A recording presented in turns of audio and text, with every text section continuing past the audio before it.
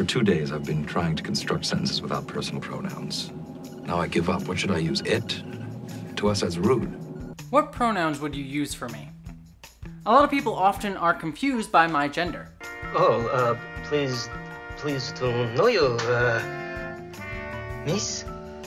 If you don't believe me, check out pretty much any of the comment sections on my more popular videos which have people who may not follow me regularly. And often people ask this question by saying, are you a he or a she or an it? Now stick around because I'll answer the question about my pronouns by the end of the video, but it's that last option, the it, that really seems to be the most intriguing. And when it comes up, often reveals a lot about the intentions of the person asking the question. Why is any object we don't understand always called a thing? You see, while we typically only think about pronouns today in a transgender context like myself, pronouns are an incredibly powerful piece of how we interact with each other, transgender or not. And they can also be an indicator of something much darker and more sinister than you would think. How we use language to dehumanize the other. And one of the most common ways that we dehumanize others today is through aspects of gender. Not just transgender or not transgender, but even through women versus man or other things like that. So because it's my channel, let's use Star Trek to dissect the complex relationships between gender, language, and dehumanization.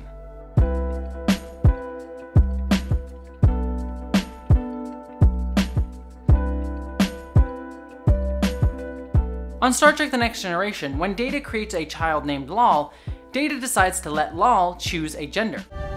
Gender female. That's right. Just like me. Gender male. Correct. And I am gender neuter, inadequate. That is why you must choose a gender Lal, to complete your appearance. We assume a lot of information about a person simply by looking at them. You can get a rough estimate of how old someone is, what race they may be, or learn if someone is a Trekkie all by looking at someone. All of these visual cues give us assumptions and context, correct or not, when you interact with that person. Yet one of the largest things that we assume about someone, because many, incorrectly, see it as simply a visual identifier, is gender. Western culture has trained many of us to look at gender instantaneously. We see someone has breasts or wears makeup, and we assume girl, or we see a flat chest and a beard and we assume boy.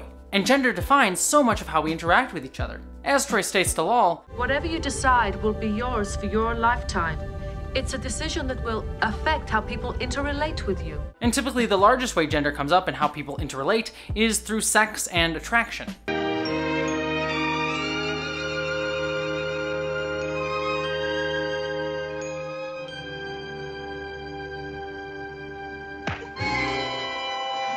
For many, gender plays a huge role in our attraction to others, regardless of our sexuality, as Lal finds out later in the episode. Guinan, is the joining of hands a symbolic act for humans? It shows affection. Humans like to touch each other. They start with the hands and go from there.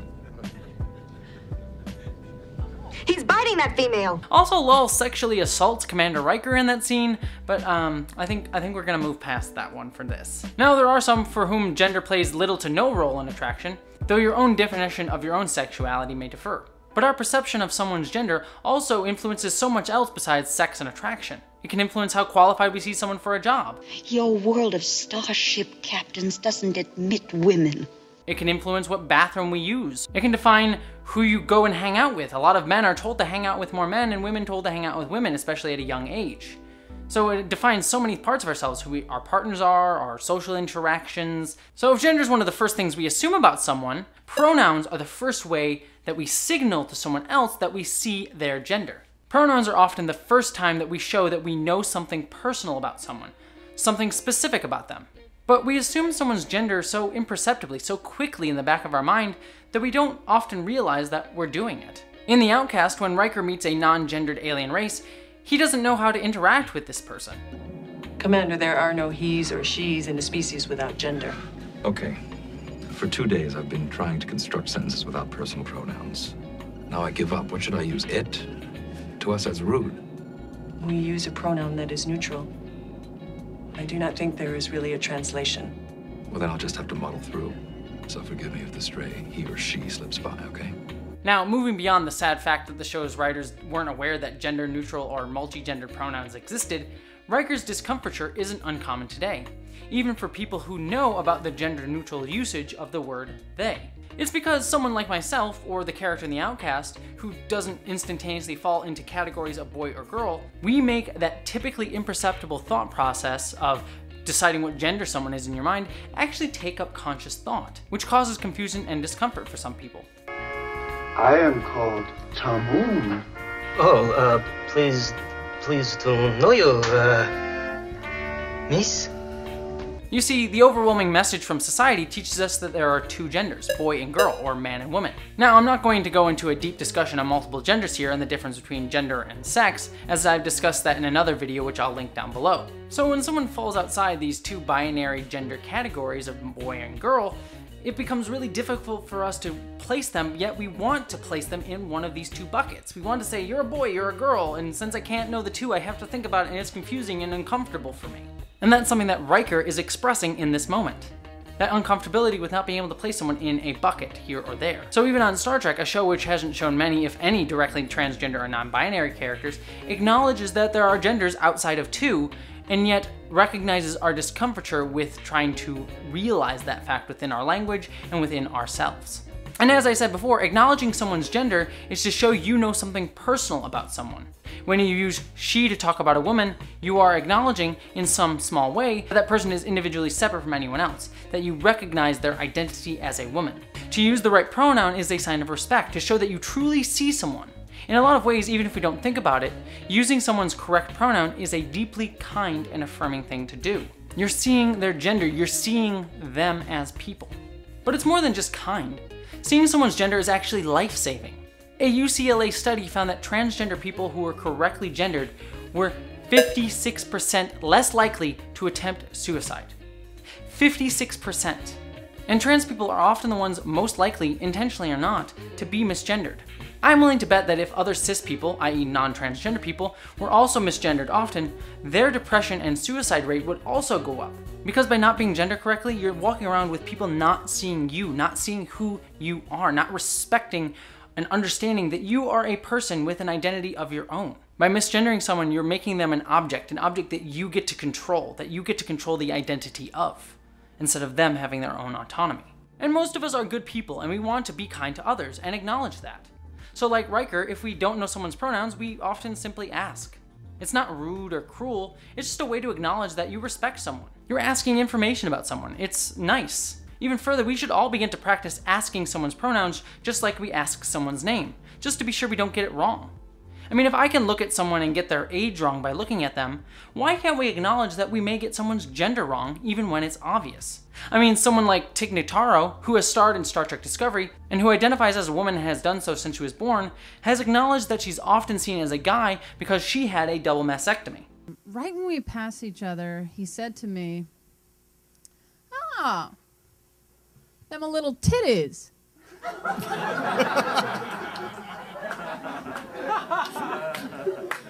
thought you was a man. Okay, that's not 100% fair that Star Trek adjacent, but it's a fair point. But okay, I get it. Asking for pronouns regularly is sometimes a hard habit to get into because, well, we all have been taught to just do so without thinking. And then we get into something that for many people causes a lot of fear. What if we get someone's pronouns wrong? He had a good student. He. Commander, there are no he's or she's in a species without gender. Oh my god, you got my pronouns wrong? How dare you? You're a piece of trash, you transphobic bigot, you're a racist. That is what many people fear will happen if they get someone's pronouns wrong. That someone will jump down their throat and make them feel horrible and small. Or that they're a horrible person even if they do it accidentally. And I even see it with people who are around trans people all the time. I have close friends who often feel really embarrassed if they get my pronouns wrong. I myself have even misgendered people and felt horrible about it because it meant I didn't actually see someone. But what really happens when we get someone's pronouns wrong? I Curzon? After 81 years, I, I find you a Guillermo-looking woman. Kiss me. How about just a great big hug? Oh, Curzon, my beloved old friend. I'm Jadzia now. Oh, well, Jadzia, my beloved old friend. This moment is truly beautiful.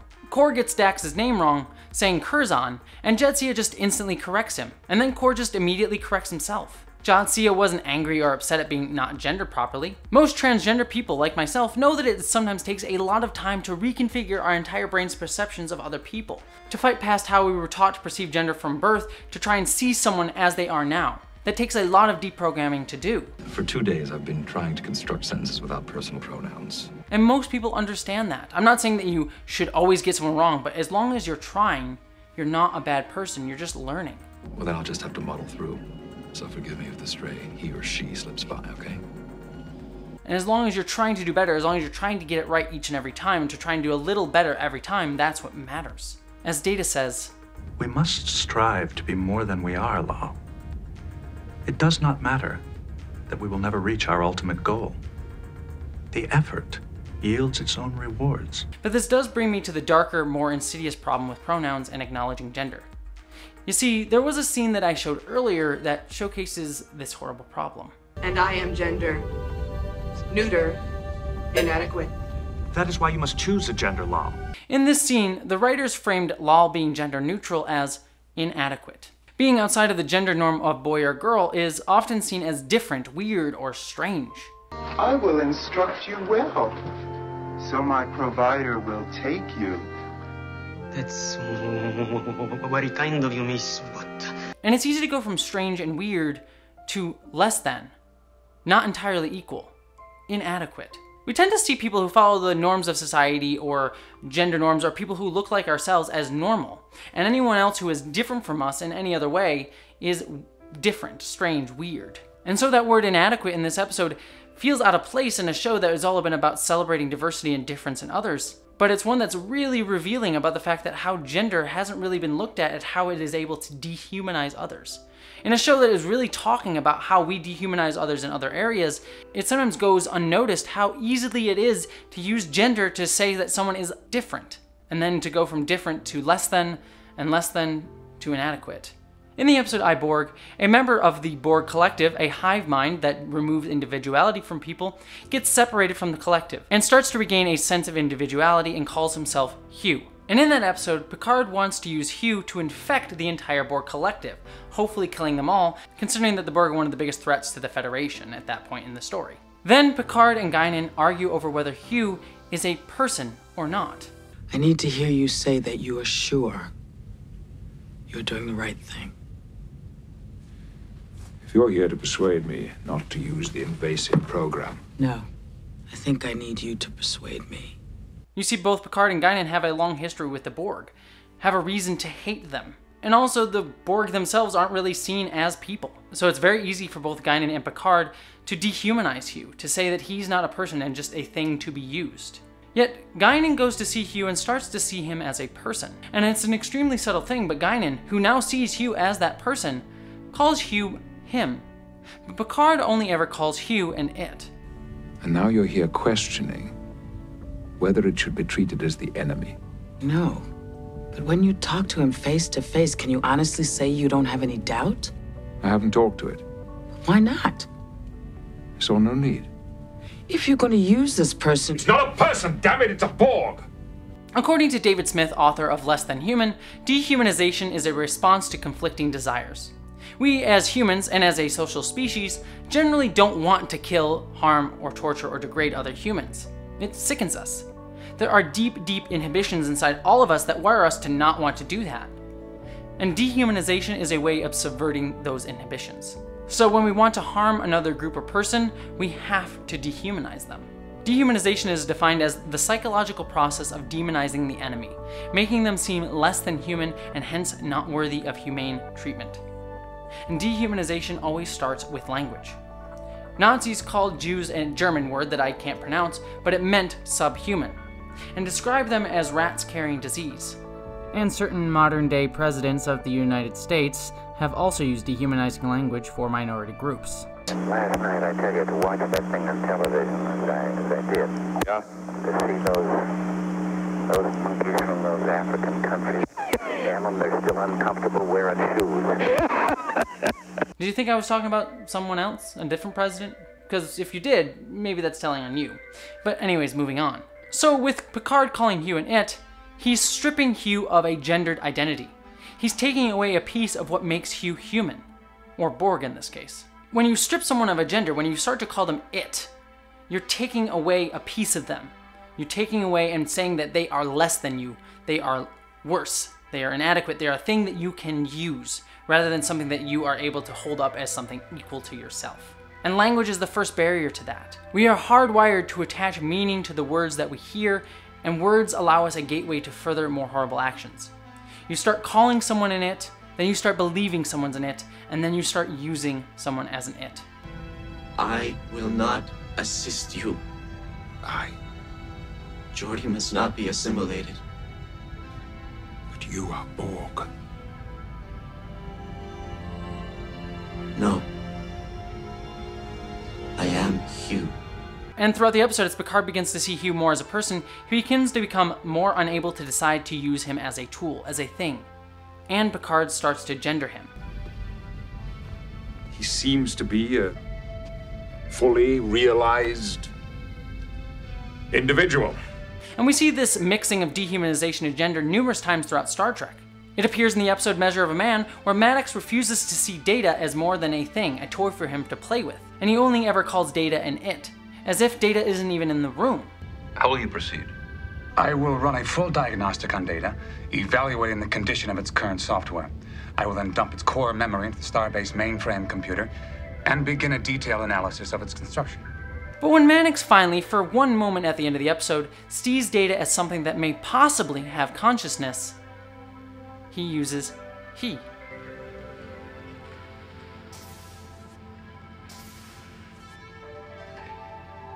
He's very remarkable. You didn't call him it? The Enterprise episode Cogenitor is an episode that gets a lot of things wrong in its depictions of gender and sex, but it does get this one thing right in showcasing how language dehumanizes. I wanted to point this episode out, even though it's a bit repetitious of what I was saying before, because it shows how far dehumanization can go, how subtle it can be.